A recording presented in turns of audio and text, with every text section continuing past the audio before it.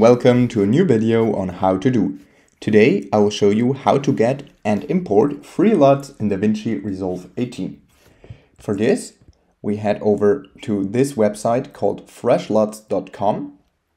Then you just create an account and then you can search LUTs. And this website is of course completely free.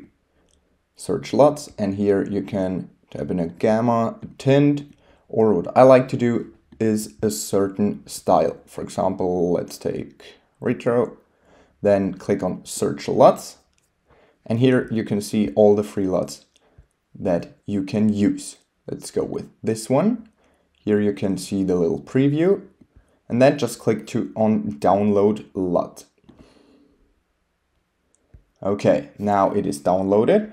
What you want to do next, just head over to your DaVinci Resolve project Here's the clip I want to apply the LUT on. And now in the bottom right corner, click on the project settings until this appears. And then under color management, you want to go to open LUT folder. And then you should see something like this.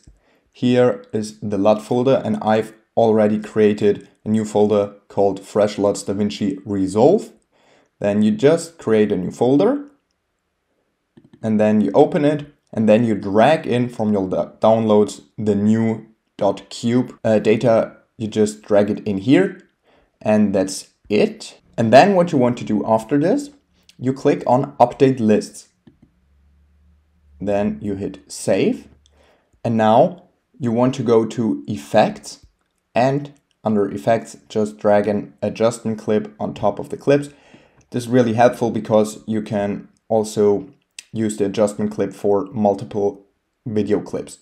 Then head over to the color tab and here just click on your clip that you want to use um, the LUT for.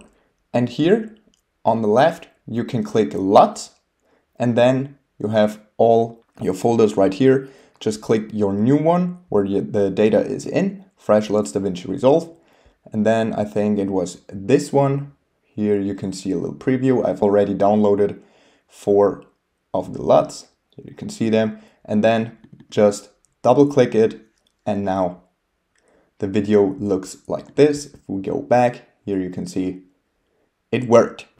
Okay, that was a little hack on how to get and import free LUTs in DaVinci Resolve 18.